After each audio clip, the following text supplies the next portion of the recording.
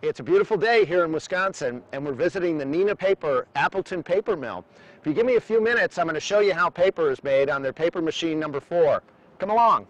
I'm standing in front of a pile of wet lap post-consumer waste pulp, and we're going to go and we're going to see some recycled paper being made here in this paper mill. Come on, let's go along. We're standing here and we're adding the 100% post-consumer waste wet lap pulp into the pulper getting ready to make recycled paper.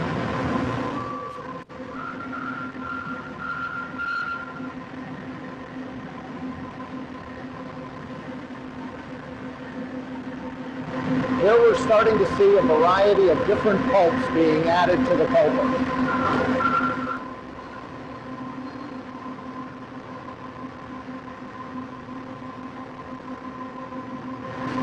Here you see the bags of chemicals being added to the pulper along with the 100% post-consumer waste wet lap pulp. Here we are at pulper number four. You can see the pulp being mixed.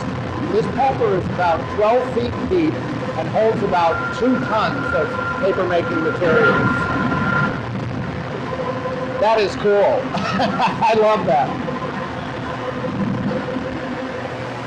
I'm standing here by paper machine number four. You've just seen the pulp being processed and it's being fed, in, fed into the wet end of the machine here where it will be laid out onto the wire of the machine getting ready to turn this pulp into paper. The paper pulp consists of about 98% water and the idea of the wire is to remove the water rapidly from the paper fibers. You can see the water dripping out of the paper fiber now.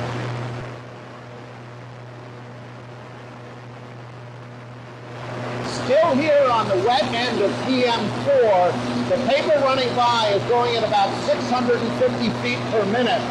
You can also see that here on the wet end, a dandy roll is putting a watermark right onto the paper.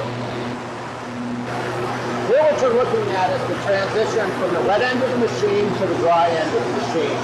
This is where the rubber meets the road. This is where the pulp slurry actually turns into paper. I had said before at the beginning of the wet end of the machine, the paper was a little bit more than 98% water. Here, the paper is now about 78% water and is going into the dryer section of the machine. I'm standing here between paper machine number four and paper machine number three. I'm here in the dryer section. It's about 100 degrees Fahrenheit here. Good thing it's May in Wisconsin because it's not too bad. As you can see, the paper machines are very large and very long pieces of equipment. As you can see, I'm standing right in front of the dryer section of paper machine number four. It is very hot right here. The machinery needed to dry this paper off to give you the paper that you're going to use on your desktop or in your printing press takes a lot of energy and a lot of equipment to make. This is the size press section of paper machine number four. This is where sizing is added to the paper. This is what gives the paper its surface strength and as well adds some smoothness to the sheet. Okay, we're almost home free. This is the last station in the paper machine. This is the calender stack. This paper actually is, is bypassing the calender stack because it doesn't require any further smoothing. But if they did want to make this paper more smooth, it would be winding through these polished rolls. We're here at the roll stand end of the machine, and I'm happy about that because it's a lot cooler here. But you can see that finally the pulp that was being processed going onto the wet end of the machine, going into the press area of the machine, and finally coming here and being wound up into a roll that will be split and sheeted in a later process. Here I'm holding a sample of paper that's just come off of the paper machine. This is a paper maker's sample. You can see that it's stamped, signed, and so on.